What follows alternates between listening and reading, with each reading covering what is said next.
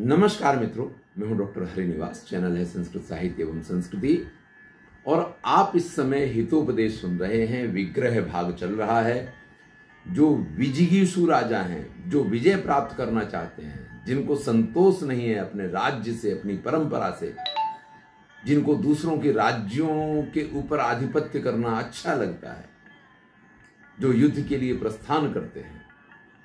ऐसे राजाओं के संदर्भ में यहाँ बहुत ही महत्वपूर्ण बातों की चर्चा चल रही है। कहा था कि सैनिक पहले ही जाकर के जो पैदल सैनिक हैं, वो शत्रु राज्य को विध्वंस करें। वहाँ के जो साधन सामग्री है, उसको नष्ट करें। आगे चलते हैं। बलेसु प्रमुखो हस्ती न तथा अन्यो ही पते। निजैर अवयवैरे मातंगो अष्टायुध स्मृता। अगर बलवान शक्तिशाली साधन देखा जाए तो राजा के पास सबसे बलवान, सबसे शक्तिशाली जिसको कहेंगे, वो हाथी ही है। यहाँ कहते हैं कि हाथी जैसा अन्यो महीपते ना, राजा के पास दूसरा कोई साधन नहीं है। क्योंकि हाथी तो अपने शरीर से ही अष्टायुध है, आठ अंगों से वो युद्ध कर सकता है। तो आप कहेंगे, आठ अंग कौन कौन से हैं?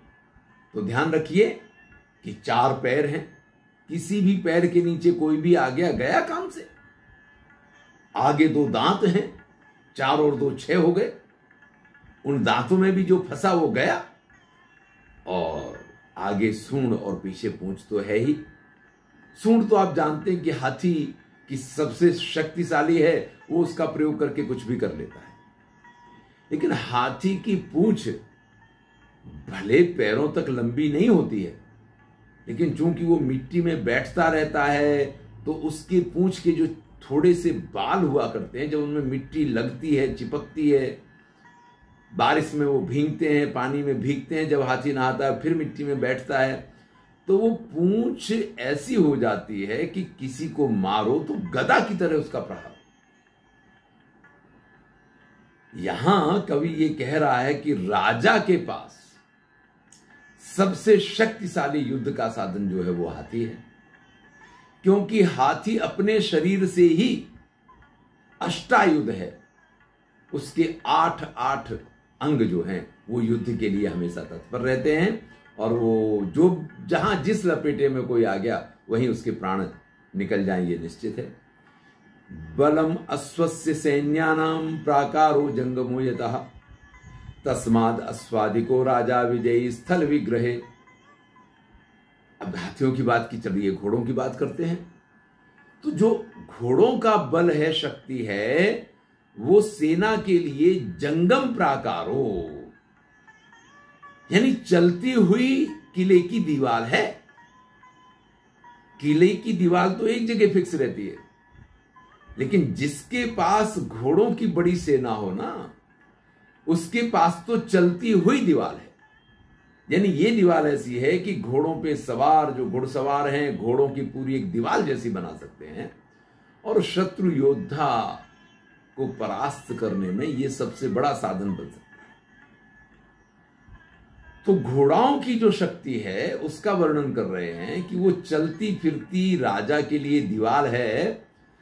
तस्माद अश्वाधिको राजा विजयी स्थल विग्रह। इसलिए जब कोई स्थल पे युद्ध होता है, जब खुले मैदान में युद्ध होता है तो जिस राजा के पास अश्वबल अधिक होता है, वो राजा उसमें सफलता प्राप्त किया करता है।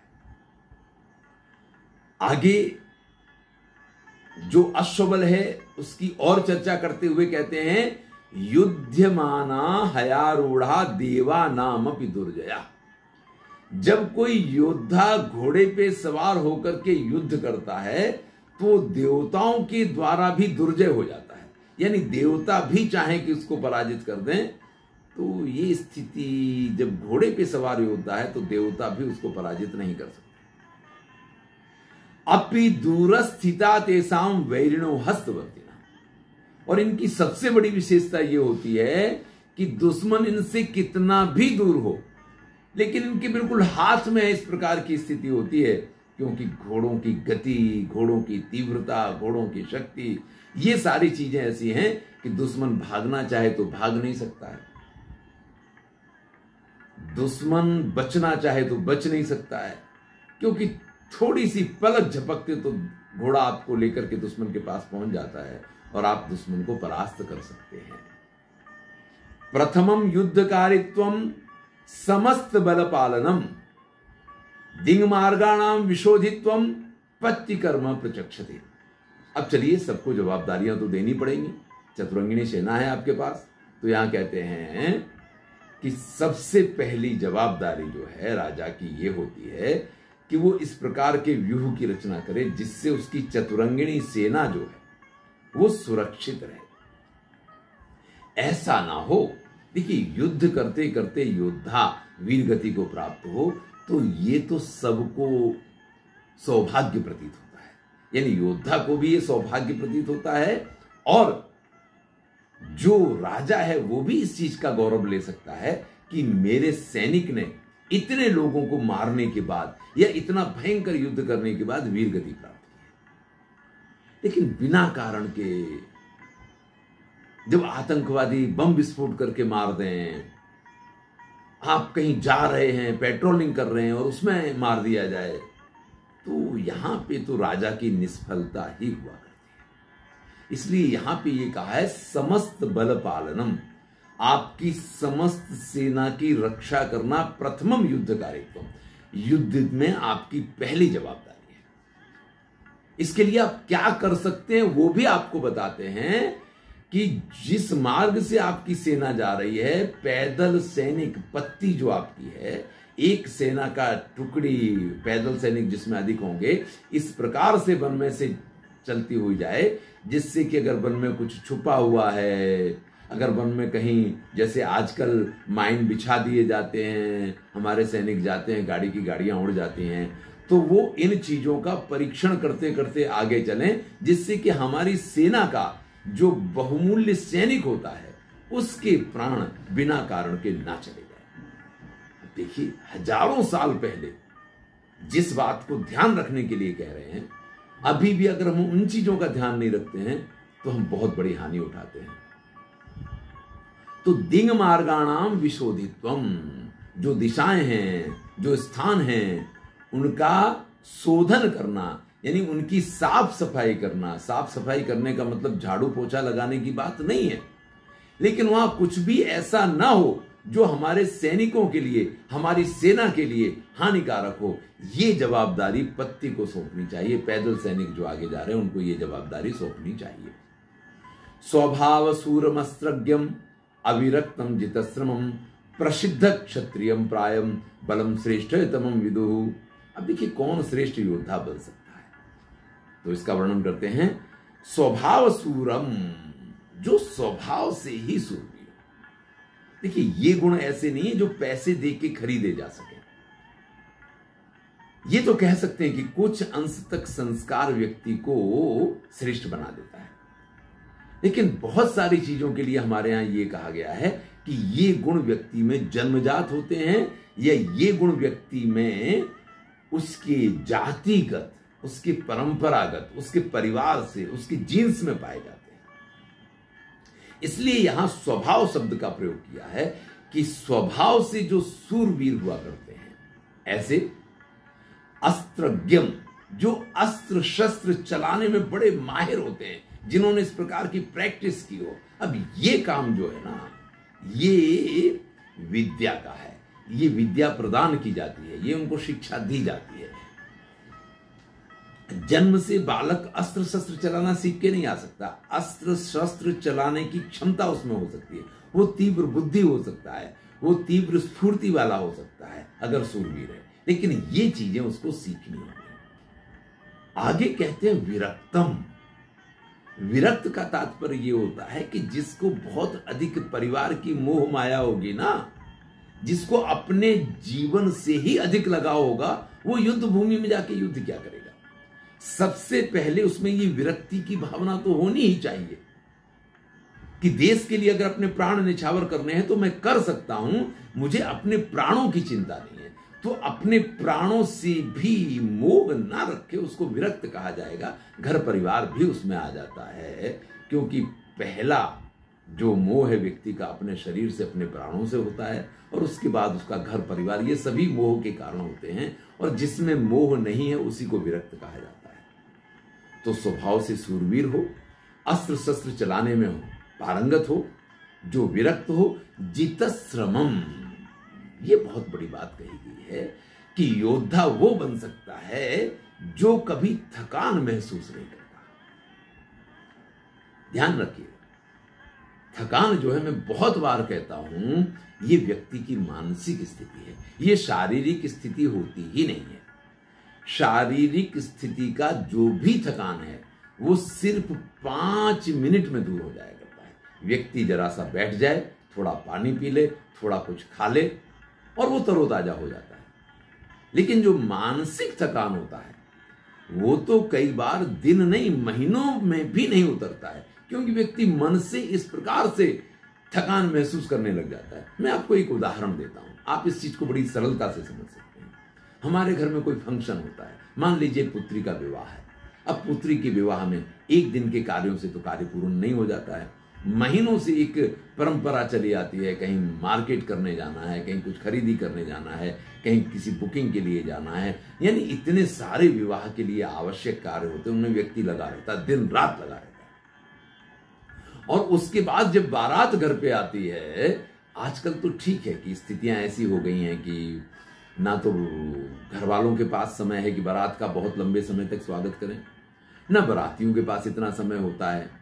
तो आजकल तो समय बहुत कम हो गया है। कई बार तो ऐसा होता है कि जहाँ संध्या काल में बारात आती है, संध्या काल में बारात पहुँची, लोग खाए, पिए और निकल लिए, आपके पास पता चला कि 10 पंद्रह, बीस लोग ही रह गए हैं। बहुत बड़ी बारात नहीं रह जाती है। लेकिन पहले तो पूरी की पूरी बारात दो दो, तीन तीन दिन तक रुका करती थी।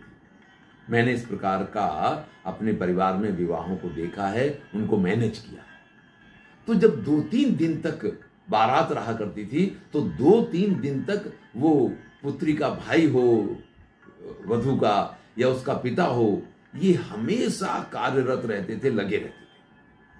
लेकिन विदा होकर के लड़की घर से बाहर निकली नहीं। जैसे उसकी विदाई हुई, वो वहाँ से गई नहीं कि उसके बाद उन लोगों को इतनी थकान लगती थी कि अब कुछ नहीं करना है। अब जो होगा वो कल किया जाएगा। मंडप वाला आके अपना मंडप निकाल ले जाए तो निकाल ले जाए। मैं कुछ करने वाला नहीं हूँ।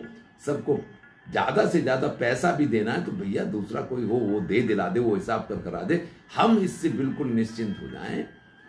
तो तात्पर्य यह है कि महीनों से काम करते हुए तीन दिन तक जब थकान नहीं लगती है और विदाई के बाद तुरंत ही वो व्यक्ति इतना अधिक थक जाता है, ये सिर्फ़ मानसिक स्थिति है भैया, ये शारीरिक स्थिति नहीं होती है। इसलिए श्रम पे जितम विजय प्राप्त करना ये एक श्रेष्ठ गुण है और जो व्यक्ति इस प्रकार के गुण को धारण करते हैं, वो अच्छे योद्धा बनने के लिए योग्य प्रसिद्ध है क्षत्रियम प्रायम। अब देखिए, ये जो है ना, ये वो वंश वाली बात आई। कि रघुवंशी योद्धा होगा तो उसमें इस प्रकार की ताकत होगी। ये चंद्रवंशी योद्धा होगा तो उसमें इस प्रकार की ताकत होगी। यानी उनमें एक ये स्वाभाविक गुण हुआ करता है, जो पहले कहा था कि स्वभावे सूरा। अब अगर आपको चयन करना है, आप कैसे उसके स्वभाव को जान पाएँगे? तो अगर आप स्वभाव को नहीं जान सकते हैं तो आप उसके वंश को जान लीजिए। तो प्रसिद्ध वंश का अगर कोई क्षत्रिय है तो प्राय ये आपके बलम यानी सेना के लिए श्रेष्ठतम विदु श्रेष्ठ हुआ करते हैं। आवश्यक नहीं ये सारे गुण एक ही व्यक्ति में मिल जाए। स्वभाव से सूरवीर है, आप उसको भी सेना में रख सकते हैं। जो अस्त्र शस्त्र का पारंगत है, आप उसको भी सेना में रख सकते हैं। जिसमें अपने प्राण निछावर करने की शक्ति हो, जो विरक्त हो, जिसमें मोह ना हो, वो भी आपका बहुत अच्छा सैनिक हो सकता है। जो थकान महसूस ही ना करता हो, ऐसा सैनिक भी आपके लिए बड़ा उपयोगी सिद्ध हो सकता है। इसी प्रकार से तो ये एक एक गुण इस प्रकार के हैं कि अगर व्यक्ति में इनमें से कोई एक गुण हो तो भी वो सैनिक बनने का अधिकारी है। अरे जिसमें सारे गुण मिल जाएँ, उसको तो आप सेनापति बना दीजिए सेना अध्यक्ष बना दीजिए, बिना चिंता किए हुए। और इसमें जो अंतिम बात कही है कि प्रसिद्ध क्षत्रिय वंश का व्यक्ति अगर हो तो ऐसे लोग श्रेष्ठ सैनिक बनने का, आपके बल यानी आपके सेना के श्रेष्ठ साधन हो सकते हैं। ध्यान दीजिएगा, अगर किसी में ये सारे गुण मिल जाएँ तो मैं कहता हूँ कि उसको सेनापति ही बनाना चाहिए।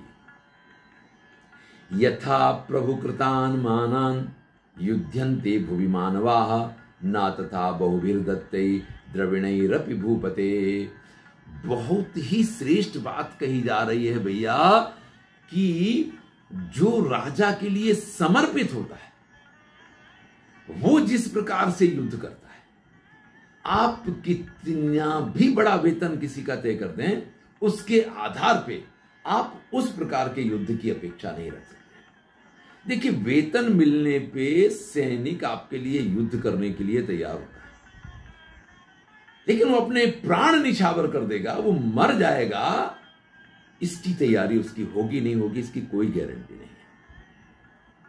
लेकिन जिसको अपने प्रभु कृतान मानान, अपने स्वामी के प्रति अत्यधिक मान होता है, अत्यधिक सम्मान होता है जिनके मन में यह होता है कि मुझे अपने स्वामी के लिए प्राण भी निछावर कर देने पड़े तो मैं पीछे नहीं हटूँगा।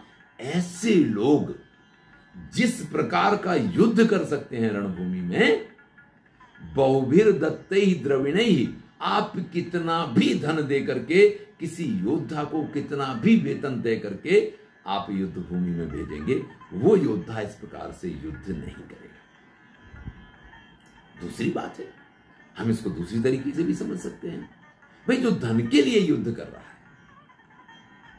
वो तो ये भी संभव है ना कि आपसे अधिक धन किसी ने दे दिया तो उसके लिए युद्ध करने लग जाएगा। तो यहाँ ये बहुत ही ध्यान देने योग्य बात है कि लालची हो, ऐसा सैनिक नहीं हो सकता है। इसीलिए सेना के सैनिकों को कभी भी इस चीज़ की अनुमति या सम्मति नहीं होती है कि वो अपना वेतनमान बढ़ाने के लिए आंदोलन करते हैं, वो अपनी सुविधाओं के लिए आंदोलन करते हैं। बहुत से बहुत ज्ञापन दे सकते हैं, लिख सकते हैं। अगर ऐसा कुछ भी करते हैं तो उनके लिए कोर्ट मार्शल वाली स्थिति हमेशा तैयार रहती है। वरम अल्प बलम सारम, न कुर्यान मुंड मंडलीम, कुर्याद असार भंगो ही सारभंगम अपि स्फुटम। और एक महत्वपूर्ण बात है कि देखिए, आपकी जो सेना है, उसमें सेना छोटी रहे, लेकिन सभी इस प्रकार के योद्धा हो, बलवान हो, समर्पित हो। ऐसी मंडली, ऐसा ग्रुप आपको, या ऐसी जिसको आप कहते हैं, यूनिट आपको तैयार करनी चाहिए। मुंड मंडली ना कुरिया बहुत सारे मस्तक इकट्ठे नहीं करने चाहिए, ऐसा नहीं है। भाई, हमारे पास प्रमाण है? छत्रपति शिवाजी बहुत बड़ी सेना इनके पास नहीं हुआ करती थी। लेकिन ऐसे चुनिंदा योद्धा होते थे जो ये कहते थे कार्यम व साधेयम देहम व पाते या तो अपने शरीर का परित्याग करूँगा या कार्य में सफल होकर के आऊँगा। निष्फलता के साथ वापस आने का तो कोई कारण ही नहीं बनता है। तो भैया, ऐसे जो समर्पित योद्धा हों छत्रपति शिवाजी के यहाँ जिस प्रकार के मराठा योद्धा हुआ करते थे, इस प्रकार के समर्पित योद्धा हो तो अल्पम बलम सारम तो छोटी सेना भी आपके लिए बड़ी उपयोगी है। मुंड मंडलीम ना कुरिया, बहुत लोगों को एकत्रित नहीं करना चाहिए।